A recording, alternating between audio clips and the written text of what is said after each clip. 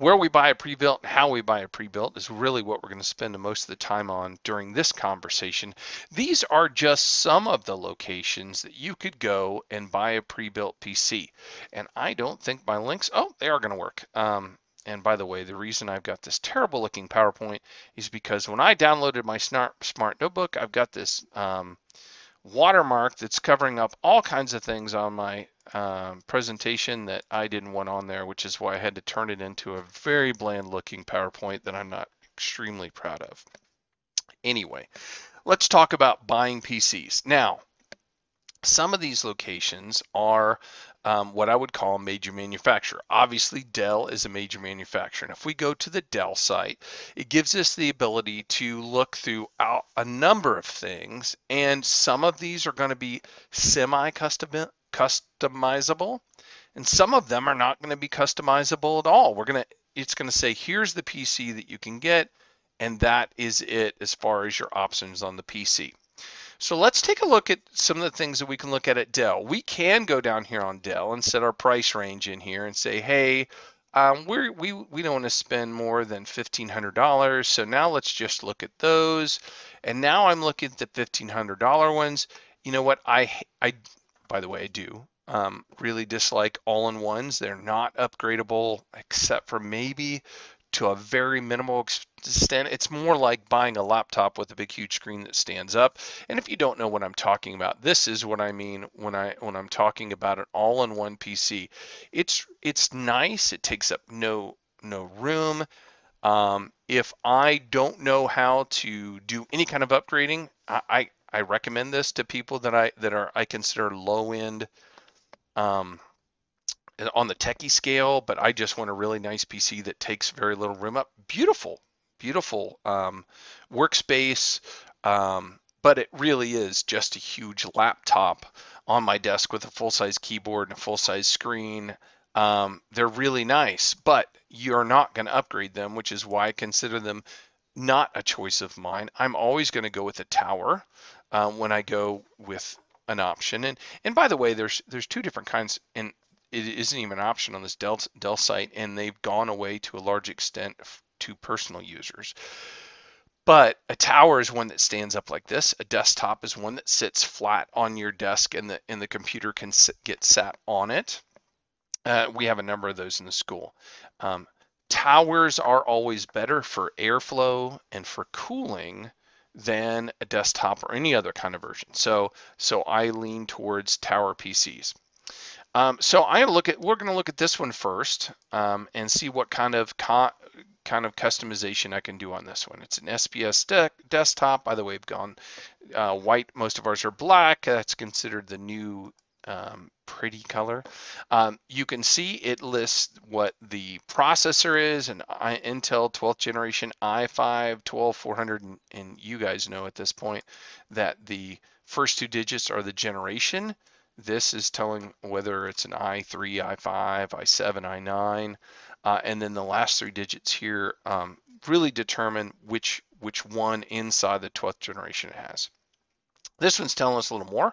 We can see how much cache we have, how many cores we have, how many threads we have, and what the gigahertz of this processor is. Now we know all those things together go to determine the speed of this processor.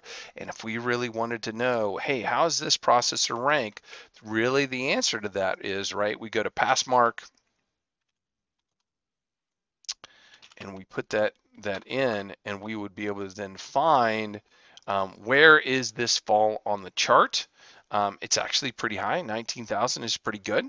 Um, we can also see a little more how much power does it pull. And if I wanted to go and look at where it falls on this range, I could also put that in here and see, hey, you know what? It's, it's well, we can see this is the high end. So it looks like it's in the top one third of the high end processors. Now, important to take a note here while I'm looking.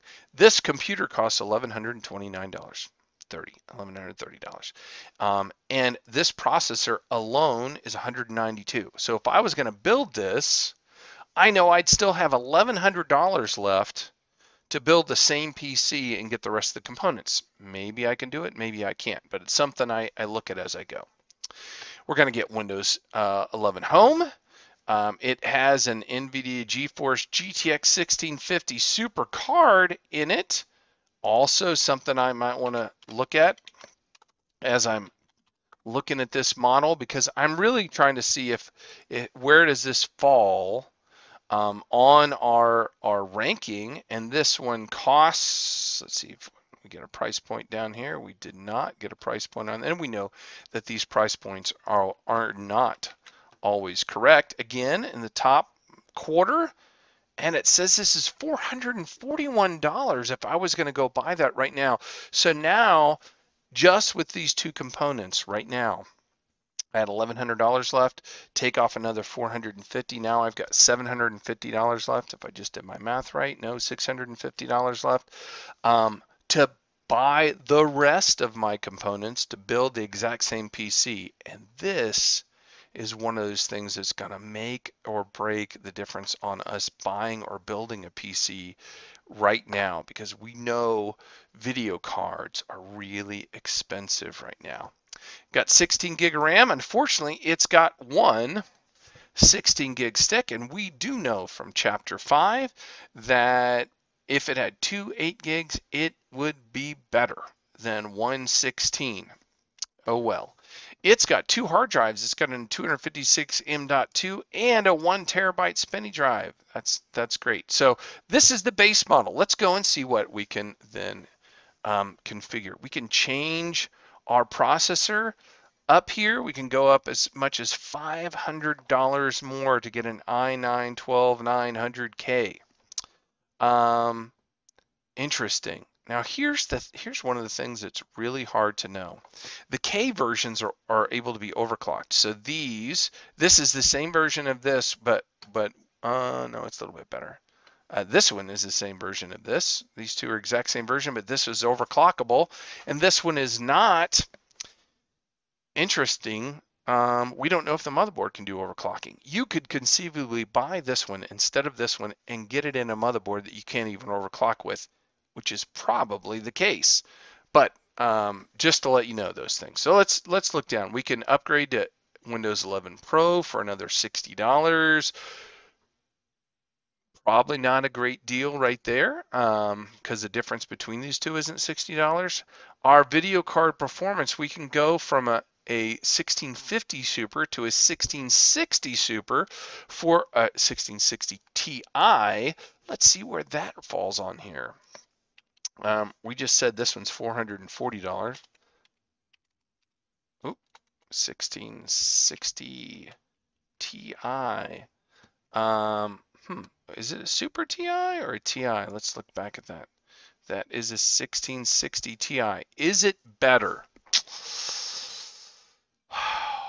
wow, that that is tough, isn't it? It it we we just went from a 1650 Super uh, and by the way, look, this is less expensive, and we're get we're charging we're paying another hundred dollars more. Um, where was that? That's our link 1179.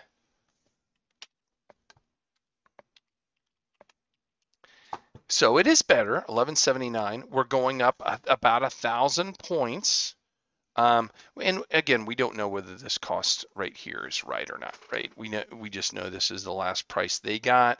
It may be off, but we are going up a thousand points um, there. Whether or not that's worth it, could we sell this for that price and buy this for the same one? Mm, probably not. So it might be worth that. Um, let's, what, let's see what else we can. Oh, we can even upgrade our graphics card more and go up to 3060, 3060 Ti Dell recommended. You're paying that $400 more for that. Um, and we could also do Radeon graphics if we prefer, preferred that more. Uh, chassis options, we can choose different colors if we didn't like that. Eh, it looks white to me, we'll call it silver. I can uh, lower it by $30 by going with a night bezel. Uh, in other words, flat black. What's the night bezel chassis, including, oh, uh, same price if we want a optical drive on it, if we need it. Does, does it say what kind of optical drive? No, it just says optical drive. That's interesting. Um, we can get more memory. What? $1,300 more? Holy moly, they're insane. Um, with that upgrade, you're going to pay $1,300 more to go from 4,400 megahertz to 3,600. Oh, that's 128 gig RAM. That's not adding up to 32. Um, we can go 60. Oh, look at that. You can, at no cost, at no cost, get two eights instead of a 16, which is better choice. Or you could upgrade all the way to 32 for just an additional $200. Um, that's probably about about right. And if we're shooting for the $15 threshold, which I kind of am as I'm looking at this, it says right now we've got a dual drive, we've got a 256 and a one terabyte. We could make it a 512 and a one terabyte for $50 more. Or we can make it a one terabyte and a one terabyte for $100, $150 more. Look, look what we just did. If we, if our price range was $1,500, we're within our $50 of our $1,500. We've just we've just hit it with a really nice uh, PC, and so we could go and say, okay, this is our this is our thing. This is the one we're looking at and getting. Um, does it let us do a nice printout of it? It um, does not.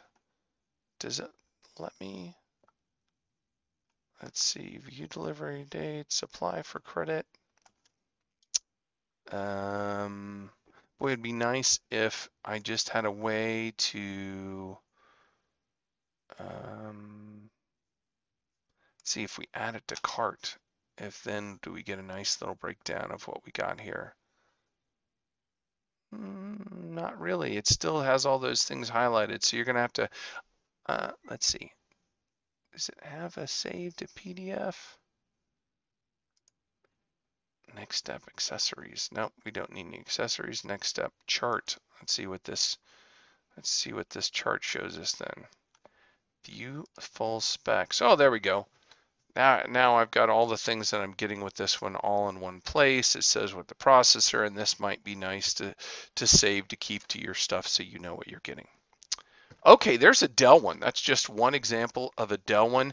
Um, some of them are not as customizable as that one. That one was pretty darn customizable.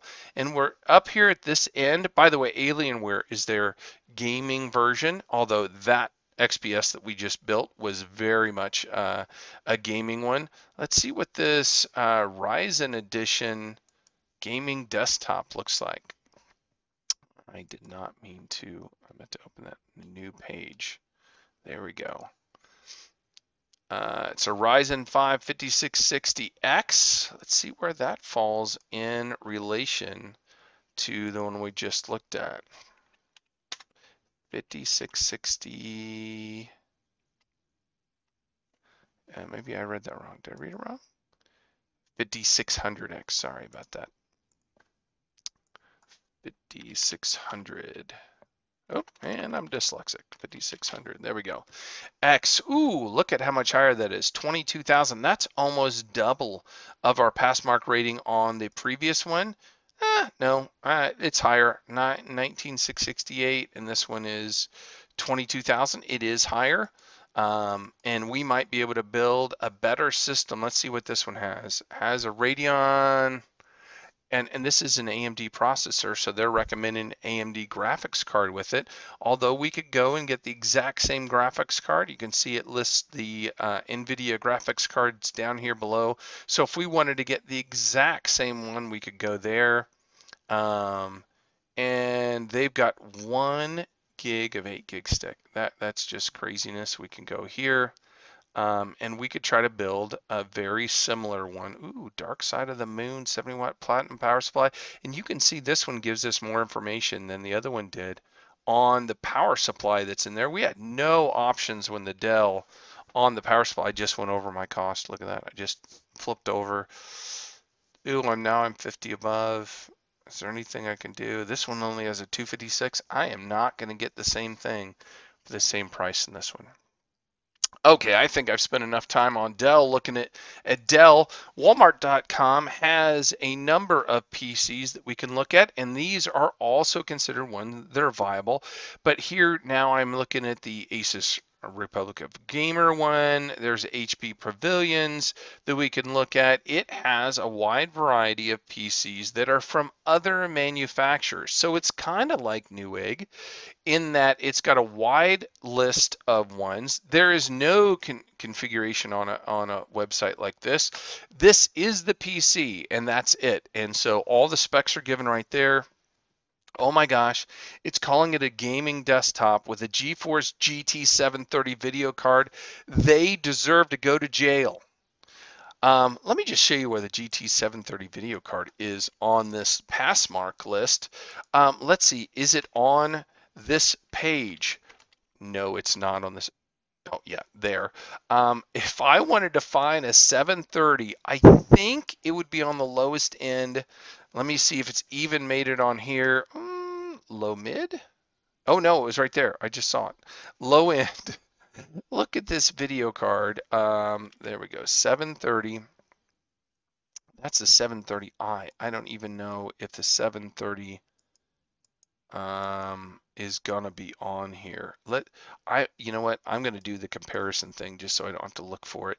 If I go compare and say I'm, I'm gonna look at 730 and that is the GeForce GT 730. And if I hit compare, oh, it wants another one. Oh, let's let's compare it with the 1650 Super that we looked at on the other one.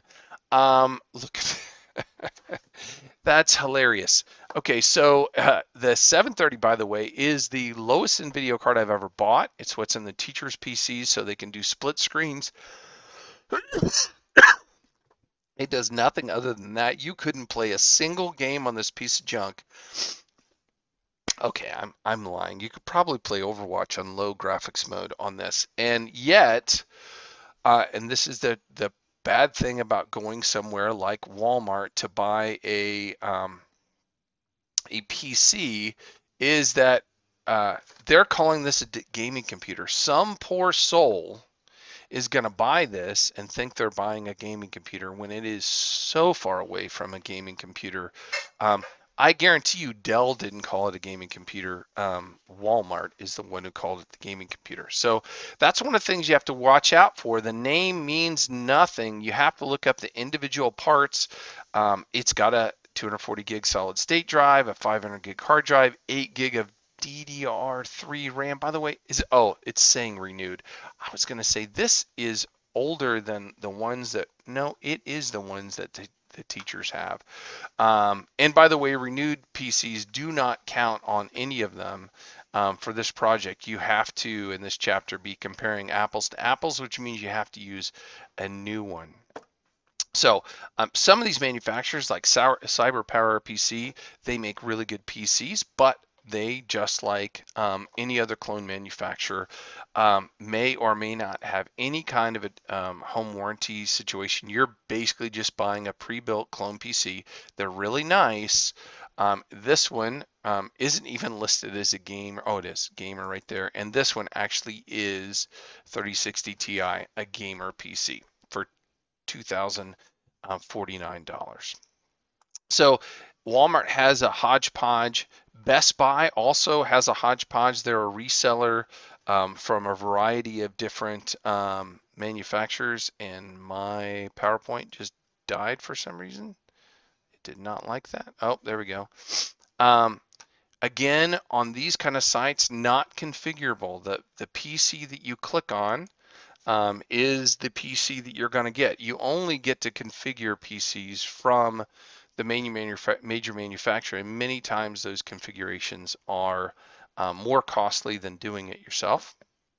Um, iBuyPower is um, a manufacturer of PCs. I would not consider them a major manufacturer. I would consider them a clone manufacturer. But in some of the cases, like with iBuyPower, I think you have a better chance of getting a high-end PC here um, with them than you would with somebody like Dell. This is how um, uh, the Dell shoot off of uh, Alienware started as a uh, build manufacturer of its own gaming NPCs, and then Dell bought them out to be their gaming franchise um, as far as that goes. So that is it as far as buying a pre-built. Um, there's a quiz that follows this, and I want you to take some time to look at some of the links um, that are in the um, book itself because on there not only should you be reading chapter one you should be reading the uh, online buyer's guide as well as just making sure you've taken a look at some of these links and i need to update some of them um, and then taking the quiz on uh, section number one of chapter nine